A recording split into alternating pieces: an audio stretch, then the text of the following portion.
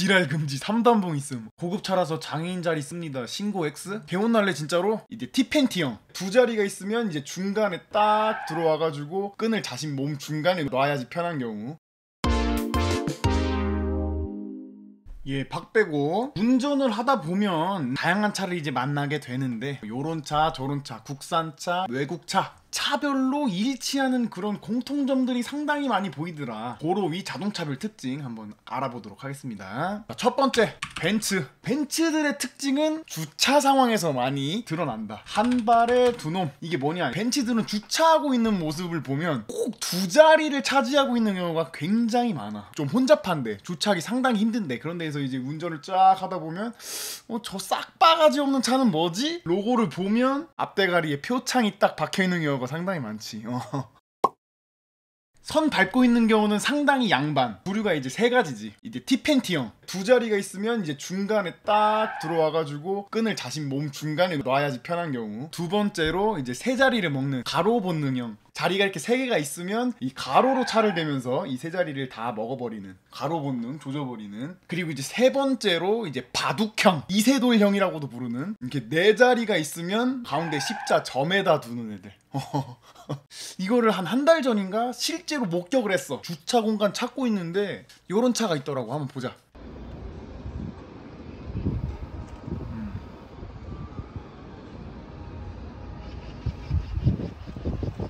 아니 이거 봐. 끈 보이지 끈. 이만큼을 먹고 있더라고. 한 다리를 딱. 어. 이게 내 차인데 어림없지. 그냥 껴서 넣어서 그냥 주차 박았습니다. 이런 거에 지는 거 싫어합니다. 이거 봐, 이거 봐. 어. 네 몸이 그렇게 크지 않다. 어, 여기 나 같은 사람이 있네. 절대 지지 않는 사람. 기가 막히다, 기가 막혀. 어? 대각선 주차까지 있는구나. 이 사람이 이세돌령이잖아. 딱 중간 십자에다가 딱 포석하는 고급차라서 장애인 자리 씁니다. 신고 X. 배운 날래 진짜로 본인이 고급차 샀으면서 고급차 관리를 왜 모든 세대원들이 다 해야 돼.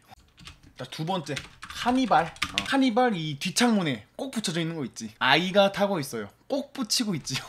카니발을 타면 애를 낳나 봐. 세계 최고의 저출산 국가. 출산율이 0명대인 한국에서는 카니발을 국가 차원에서 선물해 줘야 된다. 아이가 타고 있어요. 근데 속도를 즐기는. 분명 뒤에는 이제 아이가 타고 있다고 적혀 있는데 속도를 내는 거를 보면 애기 목뼈가 꺾일 것 같다. 상당히 폭력적인 차지. 내가 조금 서행한다. 그럼 오른쪽에서 굉장히 빠르게 치고 들어오는 카니발을 볼 수 있다. 거의 자동차계의 곽윤기지. 치고 들어오는 속도가 아주 치명적이야. 검은색이나 좀 어두운 색상. 아이가 타고 있어요. 붙일 확률 조금 현저히 떨어져. 무조건 흰색. 어, 느껴지잖아. 남자가 가장 전투력이 강하다는 이제 3, 40대. 양아치보다 더 무서워, 그 아저씨들이. 시비 잘못 걸리면 진짜 어금니 다 부러진다. 3. 모닝. 작은 고추가 맵다. 가장 빠르게 달려야 되는 1차로에 모닝이 엄청나게 많다. 고속도로에서 이 쫙 가고 있으면 5.56mm 총알이 그냥 샹 지나가. 본다? 모닝 혹은 스파크다. 어쩜 그 작은 체구에서 그런 힘이 나오는지. 자동차계의 거의 뭐 심권호 정도 되지. 자동차계의 앤트맨. 이 주황불 한 60% 지점이다 100 밟고 그냥 찔러버리지 차선 바꿀 때도 이렇게 슬그머니 가서 슬그머니 들어오는데 모닝은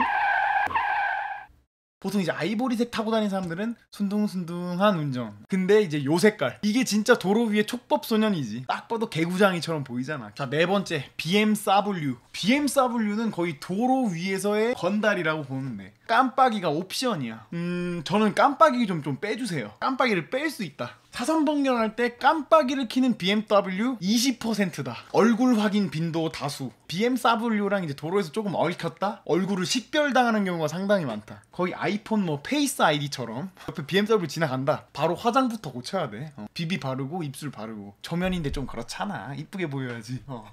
우회전 불가시 안달.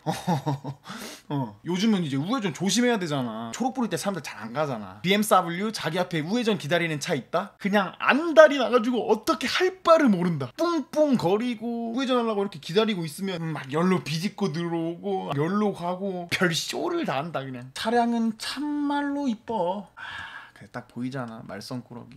악 악동 이미지 떠오르잖아. 자 다섯 번째 레이 도로 위 전투력 최하위다. 생긴 것부터 너무 순둥순둥해. 레이를 몰고 다닌다. 다른 사람들에게 얼굴 확인이 많이 당한다. 셀럽 모두 나의 얼굴을 궁금해하는 차 레이. 생긴 것부터 순두부순두부하고 은근히 통통한 몸에 비해서 조그만한 바퀴까지 운전하고 가다가 레이가 그냥 옆길에 그냥 서 있는 거야 아무 이유 없이 아니 근데 고속도로인데 왜 차가 서 있나 했지 근데 자세히 보니까 바퀴가 위에 있더라고 아니 근데 차의 컨셉은 참 좋아 올 오픈식으로 될 수 있다는 게 굉장히 편하지 그리고 천장도 높고 소형차 중에 대형차 조그만 차들 중에 네가 제일 커다란 것 같아.